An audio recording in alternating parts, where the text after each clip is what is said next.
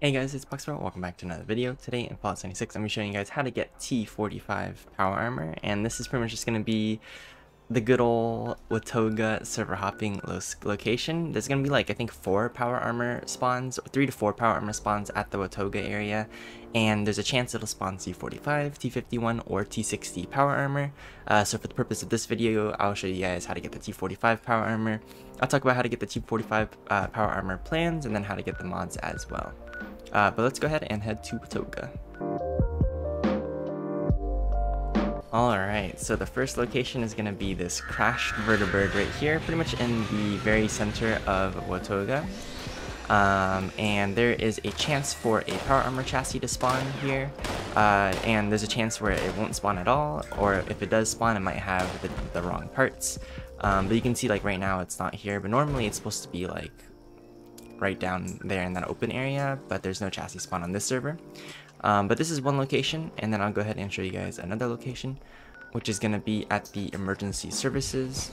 So we can just go down, walk down a little bit, and then there's the emergency services building, and we just need to go to the roof access.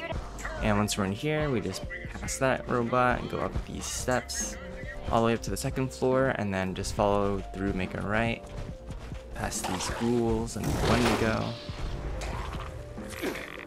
up these steps and then you'll get to the actual rooftop access.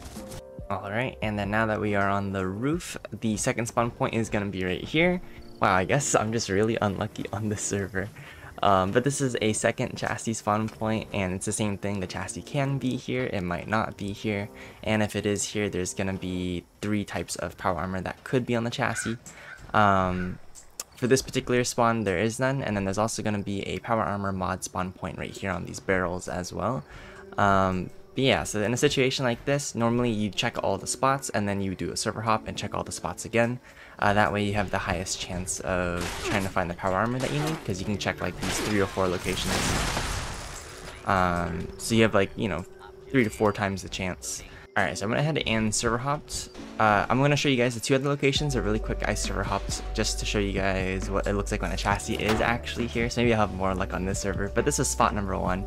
We have T51 here in a fusion core. I'll go back up to spot number two, and then I'll show you guys spot number three, which is just across the roof.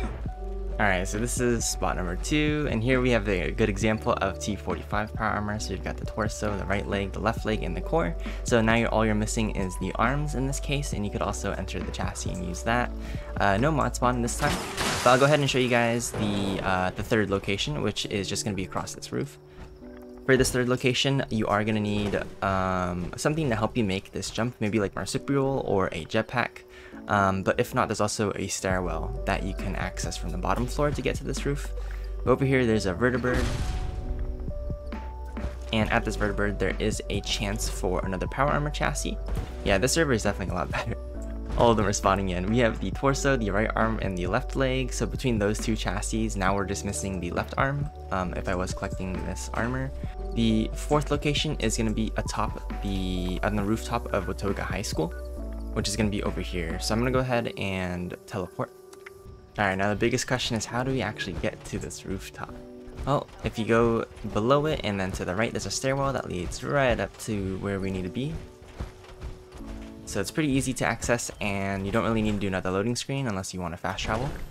Um, but yeah, up here is supposed to be the fourth power armor chassis spawn.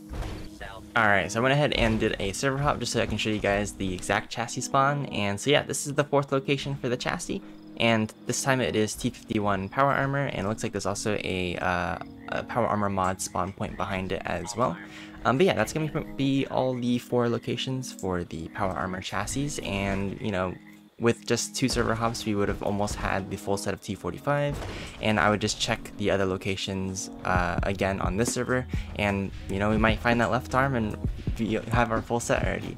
Now I'm to go ahead and talk about how you can get the mods, and uh, you can buy T45 power armor mods from any of the BOS vendors, so you could do it at the Watoga vendor or you could go to the White Spring vendor as long as a BOS vendor. So in this case, since we're already in Watoga, I'll just show you guys the Watoga um, vendor. So I'm to go ahead and go to the shopping center and then in here, there's to be Vendor Bot Phoenix. And Vendorbot Phoenix right here is selling all these T45 plans, and it is going to be for caps, so you can use Charisma and like Grape Mentats to try and reduce the price. And like anything that you can boost Charisma and like Hard Bargain or Unyielding will help it with that as well. Um, but yeah, so actually I don't know if Vendorbot Phoenix is a BOS robot, but this is one location where you can get the T45 uh, plans, but I know at White Spring there's also a vendor there that sells the T-Series uh, plans as well. Uh, but yeah, that's pretty much how you get the mod plans. As for obtaining the actual T45 power armor plans um, themselves instead of like the power armor parts, that's a little bit more complicated, but I'll go ahead and, and uh, explain it. So as you play the game and you loot containers and whatnot, you'll go ahead and find these treasure maps and as you obtain the treasure maps, uh, they will accumulate in your inventory under under notes. So like right here, I have these two ash heap treasure maps, for example. And when you open it, it gives you like a rough estimate of the location as a picture. And so essentially, I'll link a website in the description that shows you and tells you the actual location instead of just using that picture in game. So it makes it a lot easier. And uh, once you go to the location, that you have a treasure map for, you, you'll search around for the little pile in the ground. It could be like a little mound of dirt.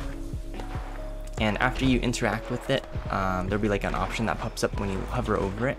It will consume the treasure map and then it will reward you like some, some things from a random loot pool. And part of that loot pool is the T45 power armor plans, T60 plans, and the T51 plans. So it is going to be a bit of RNG.